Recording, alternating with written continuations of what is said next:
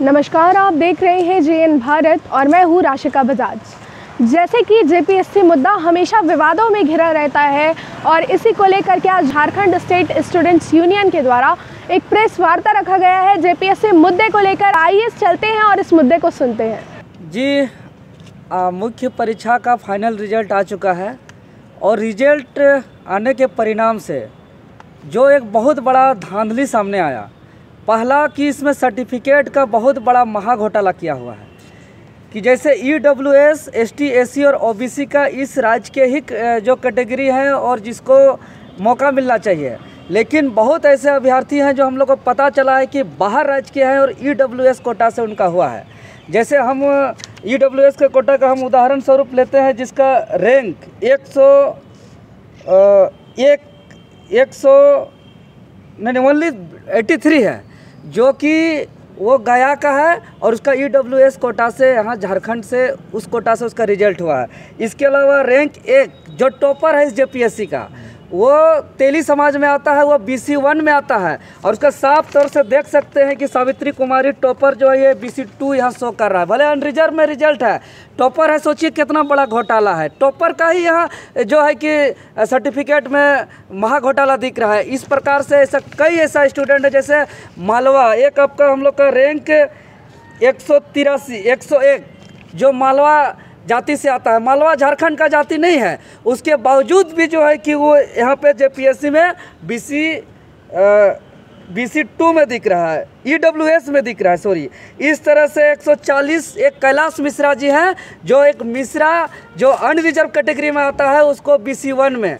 अब जेपीएससी को जवाब देना चाहिए, इतना बड़ा सर्टिफिकेट का घोटला, ये तो हम लोग कुछ बहुत, थोड़ा बहुत निकाले हैं। इसके अलावा न जाने कितना कितना सर्टिफिकेट होगा। इसीलिए ये इस जेपीएससी जो शुरू से विवाद में है, इसके अलावा मार्क्स जारी होना चाहिए था। मार्क्स जारी नहीं किया है।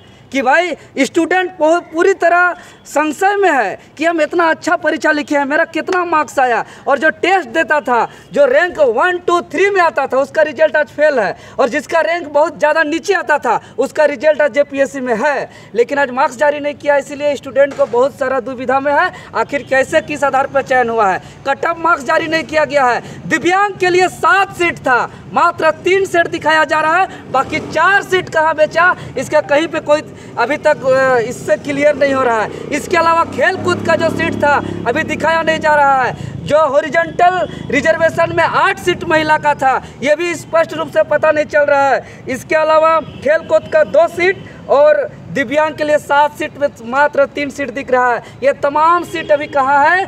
कहाँ क्या, कहाँ कहाँ बेचा है? ये स्पष्ट इस रिज़ल्ट में नहीं दिख रहा है।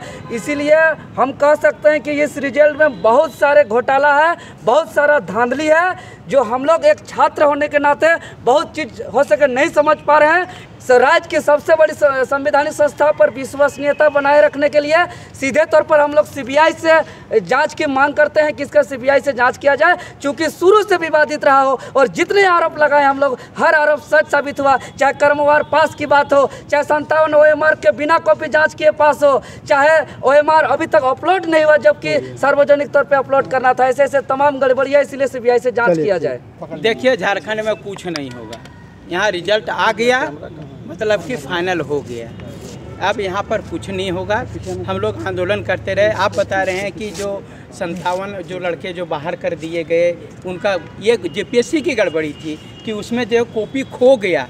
बिना कॉपी जांचे आप उसको जो है सो पास किए थे और फिर बिना कॉपी जांचे जो है उसको बाहर कर दिए। अगर यदि उसकी कॉपी जाँच हुई रहती, हो सकता है कि अभी के रिज़ल्ट में वो संतावन वो लड़के पास किए होते। तो ये गड़बड़ी को पहले ख़त्म करना चाहिए था, लेकिन ये गड़बड़ी नहीं ख़त्म की गई। आनंद फानंद में रिज़ल्ट बनाया गया। और अभी तक मान लीजिए कि जैसे ही आप मान लीजिए रिज़ल्ट दे दिए हैं तो कट ऑफ़ मार्क्स कहाँ गया? कौन कैटेगरी का कट ऑफ़ कितना था, वो कहाँ जाएगा?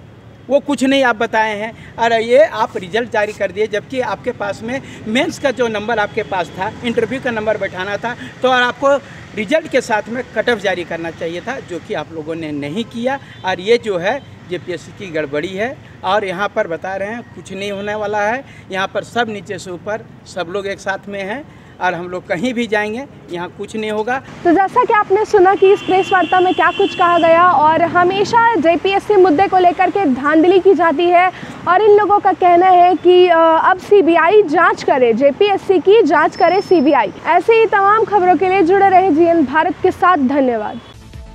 अपने राज्य से जुड़ी हर ताज़ा खबरों के लिए आप हमें सब्सक्राइब करें, साथ ही बेल आइकन बटन दबाना ना भूलें।